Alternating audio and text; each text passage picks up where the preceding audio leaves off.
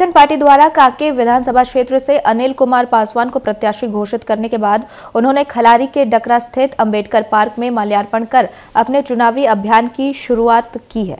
इस अवसर पर अनिल कुमार पासवान ने कहा कि अब राजनीतिक मुद्राओं की नहीं, बल्कि मुद्दों की होगी उन्होंने कहा कि अब तक कांके विधानसभा में चुनाव बड़े चेहरों और पार्टियों के नाम पर लड़े जाते रहे हैं लेकिन जनता को विकास और अधिकार देने का काम पीछे छूट गया है। अब वक्त आ गया है कि राजनीति जनता की जरूरतों और उनके अधिकारों पर केंद्रित हो। थोड़ा सा थोड़ा सा बात बात करते हैं तुरंत बात करते हैं।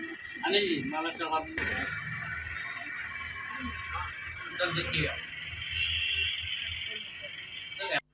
स्थित सभी महान अनुभवी हमारे जितने भी श्रेष्ठ हैं, हमारे युवा साथी लोग, हमारे दीदी लोग, उन सभी को मैं जोहार व्यक्त करता हूँ।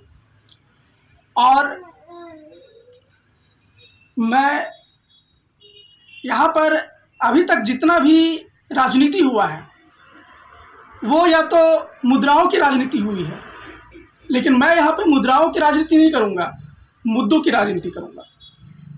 और मैं यहाँ पर सिर्फ़ राजनीति नहीं करूँगा, बल्कि कार्यनीति करूँगा। यहाँ पर जितने भी अन्य प्रतिनिधि लोग आए हैं, वो सभी के सभी या तो किसी बड़े चेहरे के नाम पे लड़ते हैं, या किसी बड़े पार्टी के नाम पे लड़ते हैं। छात्र, नौजवान, मजदूर, किसान तथा हमारे तमाम माता एवं बहनों, आज आप लोग के क्षेत्र में, हम लोग के क्षेत्र में, हम लोग का लड़का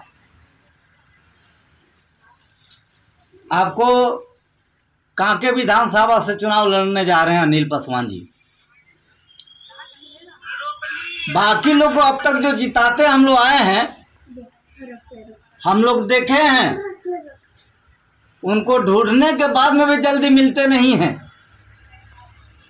लेकिन अनिल जी जो है हम लोग के अपने घर के व्यक्ति हैं। न बीओसी दूर है न विधानसभा दूर है। हम लोग वहाँ जाकर के इनका विधायक फ्लैट में भी जाकर इनसे कोई भी काम लड़ झगड़ के करवा लेंगे। घर में भी जाकर के लड़ झगड़ के करवा लेंगे। बाकी